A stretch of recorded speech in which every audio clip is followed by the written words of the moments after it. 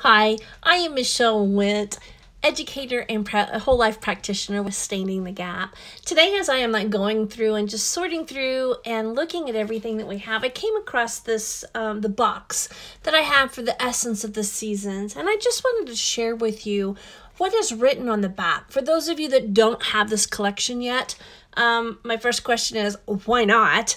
Um, but my second one is I apologize because I obviously haven't educated you and helped you to understand um, what this collection does for you. In the meantime, what I'm going to do now is read to you the back of what's on this box just to give you some in, insight into this collection. It talks about the history behind the oils. This collection celebrates the era of sacred anointing and incense oils. Frankincense and myrrh were treasured by kings and sovereigns and were more highly esteemed than gold. Yeah, gold. Two millennia ago, these precious resins were carried by wise men from the east, traditionally called the Magi Kings, who appeared in Jerusalem led by a shining star. The star went before them until it rested over the place where the young Christ child was. The Magi presented the child with the most precious gifts known to the ancient world frankincense, gold, and myrrh. Capturing the essence of the holiday, this kit includes the precious gum resins and essential oils of frankincense and myrrh and the fragrant essential oil blend Christmas Spirit. The oils and resins are not only emblems of the past, but also future symbols of the quest for health and happiness. Now, this is not just a collection to be used for um, the holidays. This is something to be used year round. Christmas spirit, oh my goodness. The emotional and mental behind it alone makes a world life changing impact on your life and the loved ones that are around you. Back to the box. The miracle of frankincense and myrrh. Frankincense originates from a legendary tree native to southern Arabia one whose scrubby and unpretentious appearance camouflaged the resinous treasures hidden in its bark. Oh my goodness. Okay, so we're gonna bunny trail here, but I'm thinking scrubby and unpretentious appearance. That's like, that's me. I am not yeah, I just don't always feel that I look like what's in me. And there's jewels and wealth in each one of us that's to be cultivated and it's and called forth. Um, man, that makes me like frankincense even more. Okay, into bunny trail.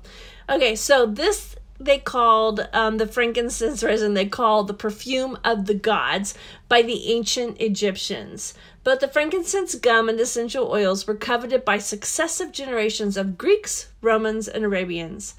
More than 3,000 tons were exported each year for temple rituals, cosmetics, and to treat every conceivable ill from gout to a broken head. Okay, now let's think about it. Back then in ancient times, it's not like they had dump trucks, trains, planes. Uh uh When they were exporting, they were doing this by foot or using um, the backs of animals. Uh, this was an honor to actually be one of these transporters. Into Bunny Trail. The Roman historian Pliny the Elder wrote an account of the phenomenally tight security that surrounded the processing of frankincense.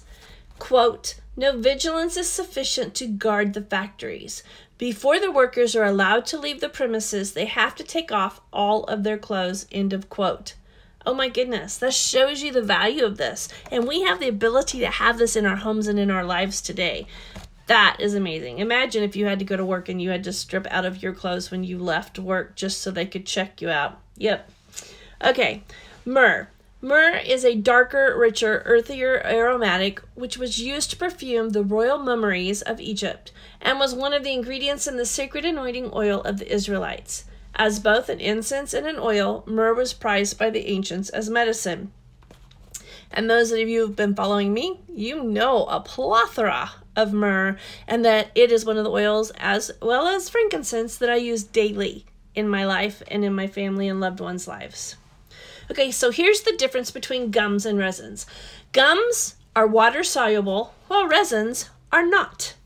Gum resins, like frankincense and myrrh, are an intricate blend of oil based resins and water based gums, possessing the properties of both. I like it when you can get the, the benefits of both worlds.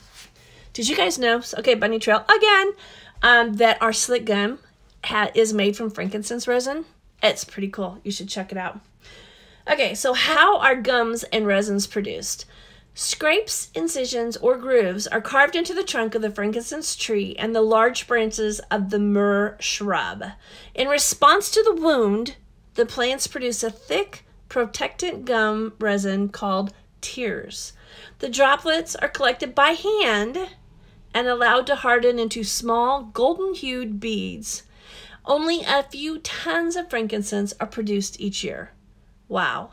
If this isn't like a metaphor for for our lives as we go through and as we're growing and stretching and challenged um, on the mental and the emotional and the spiritual side. Love it. Okay, how were gums and resins used? Historically, resins were either distilled for their essential oil content or burned as incense. Small fragments of hard resins were placed in dishes and heated or were burned over candles. Their fragrance was said to be heavenly, exquisite, and intoxicatingly beautiful, reminiscent of prayer worn altars of forgotten shrines. You can do that with the resins that are in here, the frankincense or myrrh. We actually have the burner that you can get, which is pretty awesome. Um, but you can also chew them. Check out your resources. Uh, the books. Check out even check out some of our trainings that we have the classes or our videos that we have on our youtube page or in our on our personal business page our group page. Um, get the information.